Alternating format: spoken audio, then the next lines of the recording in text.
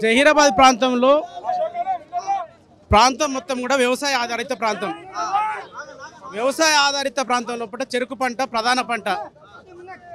గత పంతొమ్మిది వందల డెబ్బై రెండులో ఈ ఫ్యాక్టరీ స్థాపించబడం జరిగింది. అప్పటి నుంచి ఇక్కడ ఆ ఫ్యాక్టరీ ఆధారం చేసుకున్నది దినదిన అభివృద్ధి చెంది ఈ ఇప్పుడు పన్నెండు లక్షల టన్నుల చెరుకు పండిస్తున్నారు. సుమారుగా ఈ యొక్క మా ప్రాంతం మీద మా మన పక్కనటువంటి కర్ణాటక రాష్ట్రం మహారాష్ట్ర తర్వాత ఆంధ్ర వివిధ ప్రాంతాలకు పన్నెండు ఫ్యాక్టరీలకు ఇక్కడ నుంచే చెరుకుపోతున్నది. పన్నెండు ఫ్యాక్టరీకి ఇక్కడ నుంచే. అంటే ఇక్కడ నుంచి రెండు వందల యాభై రెండు వందలు నూట తొంభై అంటే ఇటువంటి కిలోమీటర్లు ఆ ఫ్యాక్టరీలు ట్రాన్స్పోర్ట్ భరించుకుంటూ ట్రాన్స్పోర్ట్ భరించుకుంటూ వాళ్ళు ఏం చేస్తున్నారంటే లాభాలను నడుస్తున్నారు. ఇక్కడ పట్టుమని పది కిలోమీటర్ల దూరం లేదు ఈ ఫ్యాక్టరీ.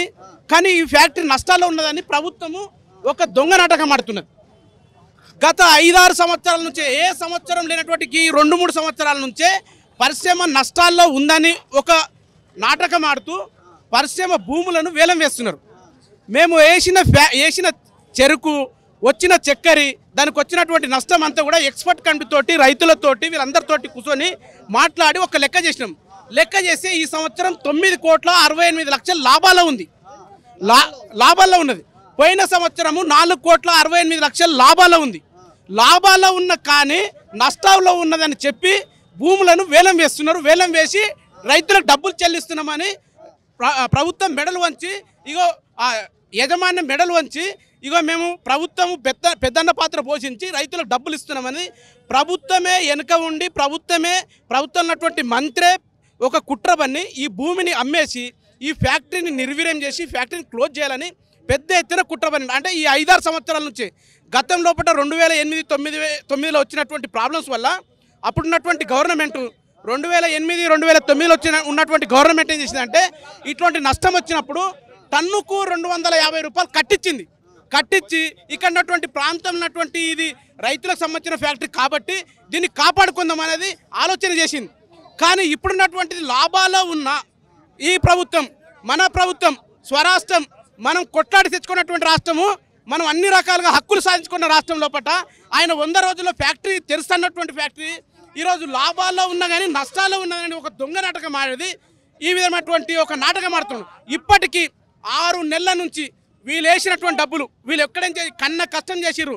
రే అనక పగలనక రాత్రి అనక చల్లనక ఎండనక రెక్కలు ముక్కలు చేసుకొని కన్న కష్టం చేసినటువంటి డబ్బులు ఇప్పి ఇయ్యడానికి వీళ్ళ డబ్బులు వీళ్ళు ఇయ్యడానికే వీలేసినటువంటి డబ్బులు వాడు చక్కెర అమ్ముకున్నాడు. ఆ లాభాలు ఉందా? ఇప్పటికీ లాభాలు ఉంది. వాని దగ్గర ఈ ప్రభుత్వం ఇప్పుడైతే గవర్నమెంట్ ఉన్నటువంటి ప్రభుత్వము వాళ్ళ పార్టీ ఫండ్ కోసం సుమారుగా కోట్ల రూపాయలు వాని మీద బెదిరించి ఆ పార్టీ ఫండ్ తీసుకొని నష్టాలు చేసిన వానికి.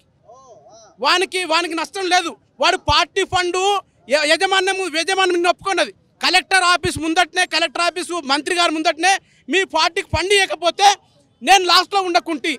మీ ఫ్యాక్టరీకి మీ యొక్క పా- పార్టీకి నేను పార్టీ ఫండ్ ఇచ్చుడుతోటే నాకు నష్టాలు పోయినా.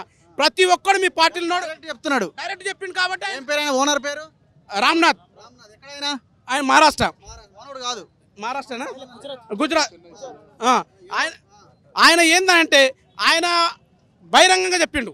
బహిరంగంగా చెప్పిన తర్వాత ఇప్పటిదాకా టీఆర్ఎస్ పార్టీ పన్నెండు ప్రెస్ మీట్లు పెట్టింది. పన్నెండు ప్రెస్ మీట్లు ఎట్లా పెట్టింది? రైతులు ఎప్పుడైనా ఒక స్టేట్మెంట్ ఇస్తే ఆ రోజు ఒక ప్రెస్ మీట్ పెడుతుంది. రైతులకు ఒకవేళ ఈరోజు బంద్ అని పిలుపునిస్తే ఒక ఒక ప్రెస్ మీట్ పెట్టేది దీన్ని కన్ఫ్యూజ్ చేస్తుంది రైతులు ఒక రోజు ఈరోజు మాట్లాడదాం ఉండి ప్రభుత్వం ఇట్లా పట్టించుకోవట్లేదు అని అంటే వాళ్ళొక మాట ఇక్కడ ఉన్నటువంటి లోకల్ నాయకుల దగ్గర ఒక్కొని దగ్గర లెక్కలేదు. ఎమ్మెల్యే దగ్గర లెక్కలేదు కేన్ కమిషనర్ దగ్గర లెక్కలేదు కలెక్టర్ దగ్గర లెక్కలేదు. కలెక్టర్ జూలై ఒకటి తేదీన ప్రెస్ మీట్ పెట్టేయమంటాడు ఈ ఫ్యాక్టరీకి పన్నెండు కోట్లే ఉంది అన్నాడు. మేమందరం రైతు సంఘాల నాయకులం అందరం కూర్చొని లెక్కలు చేసి ఇక్కడ ఉన్నటువంటి ఇదంతా లెక్క వేసుకుంటే పదహారు కోట్ల రూపాయలు ఇవ్వాలి. మేమందరం కూడా ఛాలెంజ్ చేసినప్పుడు మేము రైతు సంఘం నాయకులము రైతులం అందరం ఛాలెంజ్ చేసినప్పుడు అవును పదహారు కోట్లు ఇవ్వాలని కలెక్టర్ వేదికగా మన మంత్రి గారు అంటారు. మంత్రి జూలై మూడో తేదీ నాడు ప్రెస్ మీట్ వాళ్ళ నివాసంలో ప్రెస్ మీట్ పెట్టినప్పుడు పన్నెండు కోట్లే అంటాడు. మేము జూలై పద్దెనిమిది నాడు ప్రెస్ మీట్ పెట్టినప్పుడు జూలై జూలై జూలై పద్ జూలై పద్దెనిమిదిన ప్రెస్ మీట్ పెట్టినప్పుడు మంత్రి గారు ఒక రాష్ట్రానికి మంత్రి నటువైన అంటే ఆయన. పచ్చి అబద్ధం ఆడి పద్నాలుగు కోట్లే ఇవ్వాలంటాడు. మేము ఛాలెంజ్ చేసినప్పుడు రైతులు రైతు సంఘాల నాయకులు ఛాలెంజ్ చేసినప్పుడు అవును ప పదహారు కోట్లు అంటాడు.